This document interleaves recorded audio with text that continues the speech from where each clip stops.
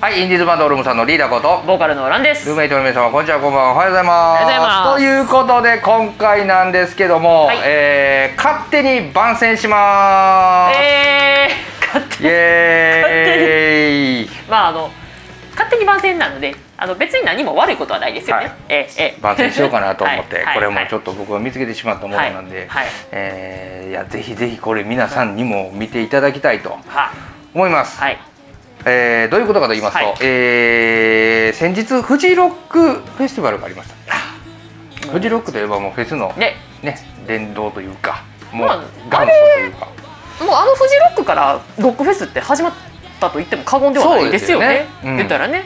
昔だってフジロックしかなかったもん、ですよね、うん。でうちののりくんが確か行ってたと思う。なんか何回か行ったって言ってませんでうんしたっけ、前なんかね。楽屋で話してた時にうんうん。フジロックの話とかしてたもんね、うんうん。もうあれがこうであれがこうでとかって、いその時ってでもロックフェスってどっちかと若い人たちがわーって出る感じだったんかな、まあそうですね。俺の知らん人ばっかりやって。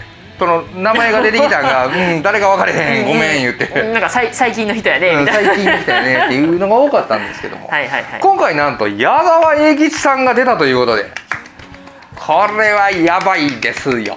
はい。っていうか出るんですね。出るんですよ。矢沢さんロックフェスに出るんですそう。ねいや絶対やばい。それでツイッターとかもう各種 SNS で結構話題になってて矢沢さんがすごかったみたいな。そらね誰が見てもあの矢沢さんすごいって思わん人おらんでしょ、もともと昔からファンの方がそういうのはまあ分かるんじゃないですか、ええ。でもやっぱり若い人たちとかも矢沢永吉さんを生で見たことがない人とかまあいっぱいいるじゃないですか、で矢沢永吉さんの曲は知ってるけどあんま見たことがない人たちもそういう世代の人たちが矢沢永吉すげえってなってて。いいな生で見れて。そう。いいなこれはすごかったっていうのがすごい話題になってていろいろ上がってたんで。で、あ。えーああそうやったんやでいいなと思いながらでまあツイッターでねちょっと映像を上げてる人いるんですけども、あれ確かダメなはずなんですよ。あのフジロックはあー撮影禁止のはずです。あのホームページに僕調べたら書いてある。公式で？は撮影やめてくださいっていう。一応ダメですって書いてたんで。あらららら。それに対してはあの僕は触れません。まああのダメなことなんでダメなことなんで。ええええはいえええーまあ注意していただいてそこはね、はいはいはい。なんかあんま緩いらしいんでフジロックってあんまりこうなんか注意しない言うてたよね。そうまあ注意するにしても人が多すぎて全員いちいちとかって難しくないですか？アナウンスとかもせえへんのかな？あでもアナウンスは一応あるんですよ。私も何回かロックフェス行ったことあるんですけど、ん。一応前の大きなスクリーンで撮影禁止ですっていうのはバーンって出るんですけどでも守らん人も中にはいるじゃないですか。人がいっぱい集まれば。だから結構スマホとかバーン出してる人とかまあ、いますけどね。あんま良くないよねそういうことはね。うん、ちょっと禁止って言われてるもんやからな。やらん方がいいですね。それはもう目と耳にね焼き付けて帰るっちゅうね。でもしくはところがところがなんとはこのフジロックフェスティバル、えー CS で放送されることになっております。見れますよ見れますよ、えーちょっとじゃあここではい。日付言うときましょうか、はえー2023年9月29日の金曜日の、うんえー22時から26時の間とはい。4時間ですね、ほえー9月30日そして、えー10月1日、えー土日ですねこれね。ね。の、えー夜の20時から24時のこれもまた各4時間ずつ。だから4時間を3日間に分けて4時間4時間4時間で、えー放送されます。これフジテレビネクストとネクストスマートにて放送配信決定ということで。うフジテレビネクストっていうのが CS で見れるやつですね、はいはいケーブルテレビも確かプラスでなんかオプションで入れば見れるやつ、で。でネクストスマートっていうのが、えースマホやパソコンで見れるやつ。これ誰でもいけます。ネットつながってたら加入すれば見れる。テレビをわざわざこう契約しなくてでもも見れるやつ。ネットでも見れるってやつうん、でこれちょっとまだ番組表確認してないんですけども、あでもネクストスマートにて放送やからいけるんやな、うんだから、うん。あのパソコンの方も見れます。パソコンタブレットの方もうあの月額1000円最初の一月だけはいはい。1000円でサブスクしてからもうそのその後解約してもいいです。し、ね、これもいろいろやり方あるんで1000円で見れるんやったらもう全然見るでしょこんなうそんなもん。そんなもんですよこうさん。ということで僕はもう CS 入って録画しといたろう思って、もうこれねね楽しみにしてるんですよ。絶対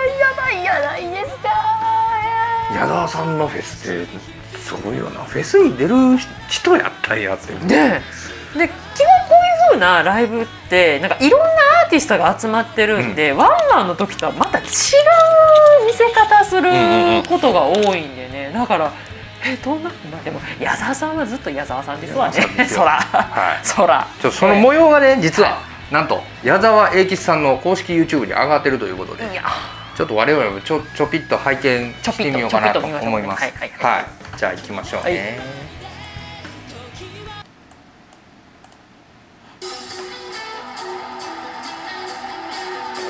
この止まらないのこのイントロ好きやねん俺。めっちゃかっこいいっすよね。なんかこれから行くで的な感じや。新幹線。うわ矢沢さん新幹線出てきた。顔隠しててももうオーラで誰かわかりますよね。おー全身真っ白の。なんかもうこれほどまでにこの真っ白のスーツ着こなせる方もなかな似合う人おいれへんよね。ねこれ73歳でこのスタイルやもう歩く姿立ち姿、うん。全部がかっこいい。もうほこれ。ねこれこれこれかっこいいな楽しそう。ああ今もうステージ終わった後の映像が。このルーティンなんですよね。これステージ終わったらガウン着て、ね。もうすぐ車乗って出ちゃうっていうかっこいいななんかあのさっとさっと去っていくその、うん。さっと。かっこいいな。これ何が理由なんやろな。なんだなんかすなんかこう余韻に浸りたいじゃないですか、うん。アーティストって普通は。終わった後も「ウェイウェイウェイウェイウェイ」みたいなね、うん俺らやったそう今年もやってくる HC 矢沢コンサートツアー2023これねコンサート見たんですけど、はいあ全部売り切れうわもうこれ無理やなと思って。はい。もう一本あるんですよ。2本あげていただいてるんで。えー、まあちょっとバックヤードのやつとかもあるんかな。こういうフェスって俺行ったことないんだよな。楽しいですけどなんうんせ暑いでしょうね。暑くてしんどいっすね。体力勝負なんでうん。これ。あこれ矢沢さんの乗ったバスバックミュージックかっこよすぎやん。ロック楽しみまくりました。そしてやっぱりアウェイの矢沢は最強でした。うわーいいな。でちゃんオープニングから全部持っていかれた初フェス。え。あでもか。っこいいなやっぱりあ写真がちょっと今出てますけど興奮して眠れる気がしない感想ですねこれね。いろんな人の感想をこう貼り付けてる余韻がえげつない。かっこいいギターをい。やエンタメとしてもロックアーティストとしても最高峰見れてよかった。まあ言ったら全員が全員なんていうんですかね。うん中には矢沢さんのこと名前だけ知ってて、うん絶対多いねと思う、ライブ初めて見たという方もいらっしゃい特にランさんの世代ってそう、ね。ですよね。自分何してるんだろうと思う。いや本矢沢さんを見てると自分は何をしてるんだろう。確かに思うな。当このご年齢になっても、初めてフェスに参加するっていうね。これかっこいいですよ。ローリング・ストーンズにできて矢沢にできないわけないだろうこれ言い切れるのすごいよねねイヤモニの調整感、ねうん。でもその調整する姿もかっこいい。かっこいい。全部かっこいいな。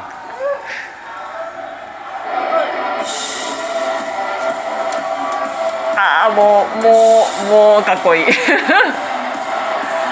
すげえということであの煽り、D えー映像がね2本見ましたけど。いやこれ見ようこれ映像作った人ちょっとなんかうこれねまいっすね。これねじゃあこれあの何気にこの YouTube 作ってる人天才ですね。ええ。ええ。あの矢沢さんよく分かってやってんねやろなやっぱり。うんうんこう見せた方がいいっていうカットカットが全部かっこいいもんな。なんかすすごいっすね。凝凝縮したっていう感じじゃないですか。矢沢さんの。カットカットがね全部かっこいいし、その矢沢さん自体がかっこいいからまあうん。どこ切り取ってもそうね。よく映んねんけど、このでも映像の作ってる人なかなかすごいね。いやそれであと感想でしょ見た人の。煽り方めっちゃうまい。ところどころ入れて。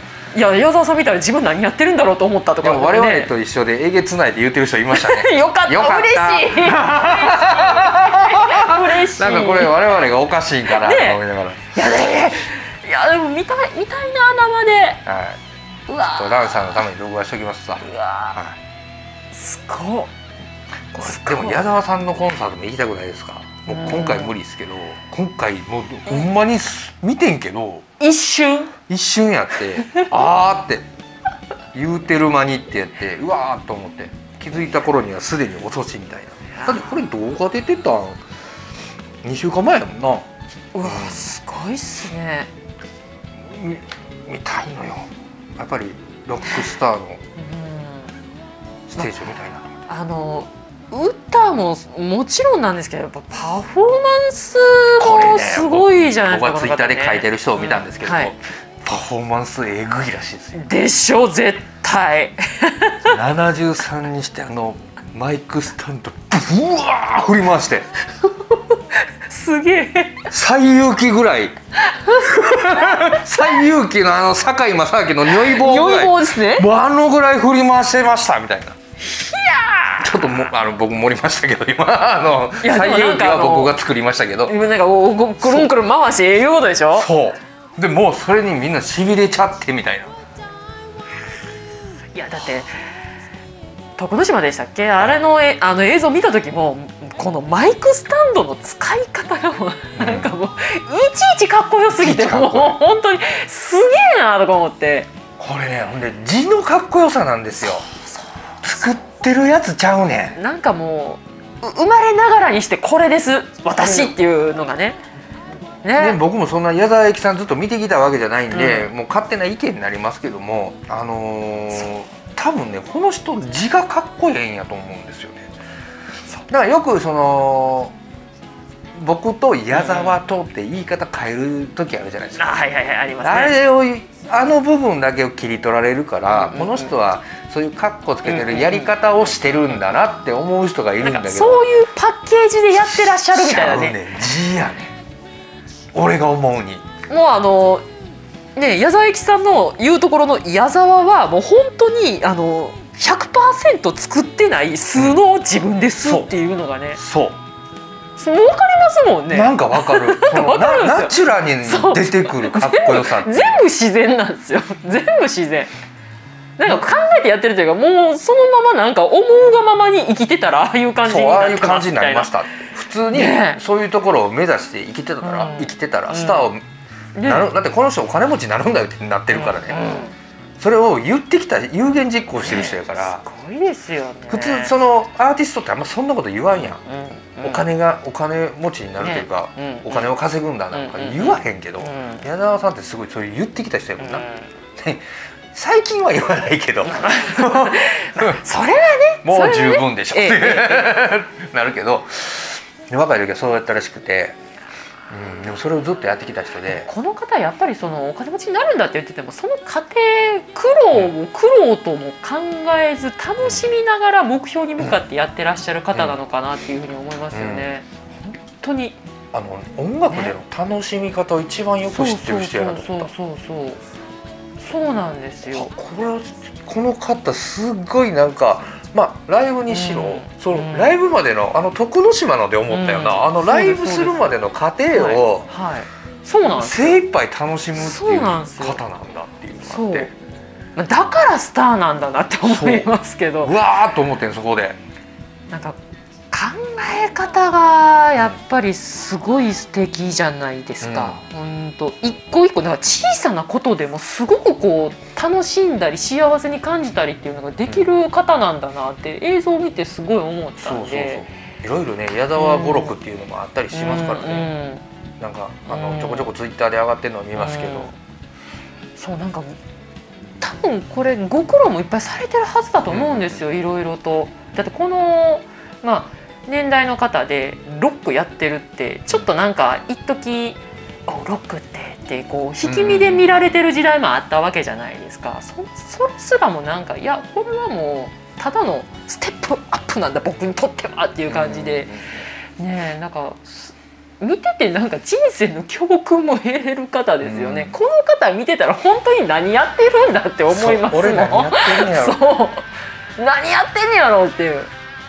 新しいことに挑戦せなあかんなって思いますもんね。そうそうそうほんまにね元気出るってういうか、んやっぱりああれですってあのプライドっていうかその自分のプライドちゃんと大事にしなさいっていうことも言ってらっしゃいます。ね何かの番組かなんかで、うん、自分のプライド、その自分はこれがしたいこれを目指すんだとかそれをそれをちゃんと信じてやりなさいみたいな感じで、うんっていうことも結構言われてたりとか、なんかすごいですよね芯が芯がすごく太く一本通ってる方で。出ないとここまではならないでしょう。ブレへんと思って。一切ブレへんっていう。いろいろ。あってもこれそう。ちゃんと維持できるそうわけですからなんですよ。ね。一切ブレへんっていうね。あのね体型に出てます、うん、そのブレなさが、うん、一切変わってない、うん、同じフォルムですもんね。年齢による崩れ一切なしみたいな。な73歳。えこれほんでさっきちょっとね飯食いながらランさんと言ってたんですけど、はいはい。うちの親父 うちの親父が矢沢永吉さんより年下なんですよ。実は。